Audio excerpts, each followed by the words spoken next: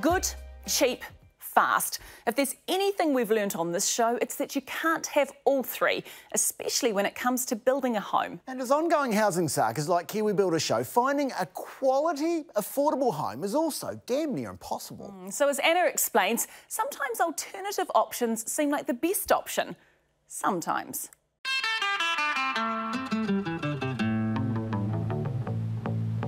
A golden glow warming the surf. The swell curls and crests in the gentle morning light of the wild west coast.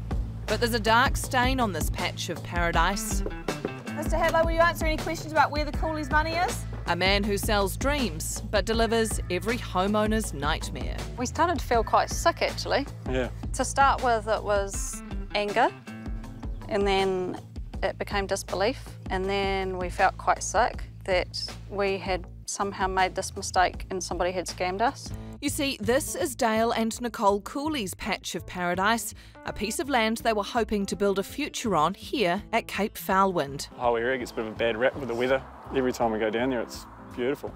Dale and Nicole wanted to get away from it all, and this seemed like the perfect spot to build a seaside crib where they could relax and unwind, and where Dale could catch some waves. One of my not so favourite things to do is sit and watch them surf all the time. We spend quite a lot of time paddleboarding. There's a lot of rivers down there.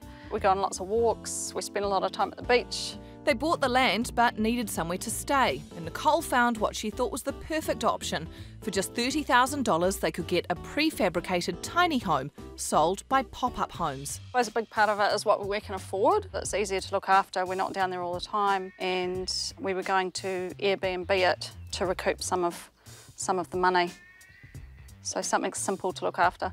Pop Up Homes advertises portable cabins shipped direct from China. The one the Cooleys spotted had a bathroom, kitchen, and space for a bedroom, the perfect little starter. What he advertised was that it was a cancelled order, um, so it was $10,000 off. Even better, it was already in New Zealand, ready to go. They contacted Pop Up Homes, and owner Richard Hadlow was happy to talk them through the deal.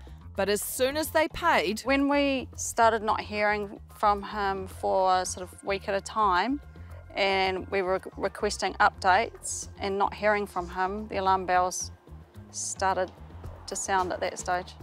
And as we were to discover, this was nothing unusual from Richard Hadlow. Can you tell us what you've done with Nicole and Dale Cooley's money?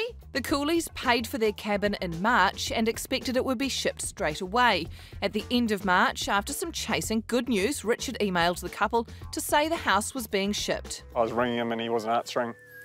And one day I rang him a number of times and got no answer. So I was working with a friend and asked to borrow his phone, dialed the number and he answered straight away. Got quite a shock that I was on the other end of the phone. Richard told Dale the house wasn't far away. Yeah, our building was at Tauranga Port. He'd just dropped it off, ready to be shipped. Relief. Finally, the house was on the way and only a short journey down to Nelson. At least that's what Dale and Nicole thought until they checked on progress with Richard a week later. Turns out their house wasn't in Tauranga. Oh no. The Cooley's house, it was coming from much further away, all the way from China. Then we got an email back from him saying that I was confused and it's coming from Beijing, the whole house. So yeah, that's when we started to get very concerned.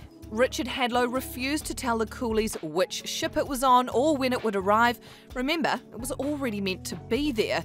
He had $30,000 of the Cooleys' money and they had no idea what he'd done with it. They had nothing to show for it. You've seen it, there's just posts in the ground. We can't, can't rent that out to anybody. The house isn't on the Cooleys' land, it's not at the pop up homes showroom in Tokoroa, and there's no evidence to suggest it's on a boat from China either.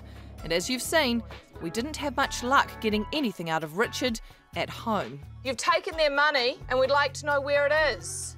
But just when we thought we'd hit a dead end, Richard Hadlow rang us back. Uh, Richard's my name from Pop I'm sorry I missed your call. Only he thought we were a customer. Listen, if you want to talk to me about the Cooleys, write me a letter, no problem. Richard, where is the house? Whose house? The Cooleys order. Where is the flat pack house the Cooleys purchased from you that they've paid full price said for? to you, I'm happy, I'm happy to, happy to talk to you. but you- Richard, where's the house? So, still no answers about where Dale and Nicole's home is. Richard, where's the house? We said if you can't produce the shipping details of our home that we've fully paid for, um, then we want the money refunded. And he's taken that and twisted it to mean that we've cancelled the order. What do you call it when somebody uh, sells you something, takes your money, and does not produce what you've paid for? Thief. So far, he hasn't produced anything. That actually feels quite terrible that you've spent this money that's gone into a black hole that could potentially put your kids at risk because now we're in a, we're in a financial hole. So usually at this point in the story, we'd try to have an outcome for you, good or bad. That's what we try to do, sort situations out. Try and get a happy ending, or any kind of ending. And we have tried. We've called Richard, we've emailed Richard, we've even texted Richard. And just like the Cooleys, nothing. We cannot get any answers.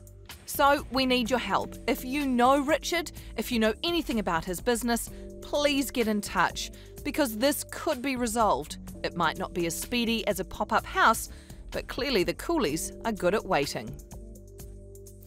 So, after trying everything humanly possible to get in touch with Richard, guess what's happened? oh. Last minute, Richard has got in touch with us just this morning, just before we filmed this show. He sent us a very brief statement. Mm -hmm. He says that he has cancelled the Cooleys' order and that he's in negotiations with their lawyer. Richard says he's offered the Cooleys several solutions, but we've checked with the Cooleys since getting Richard's email, and they say all he's asked for is more money, which unsurprisingly is a no from them. Now, what Richard did not say, and what we really, really, really want to know is where is the home or where is the money? So, Richard, we want to chat with you because you have not answered any of our questions, and we don't think it's fair or right to take people's money and leave them with nothing. Mm -hmm, that's right.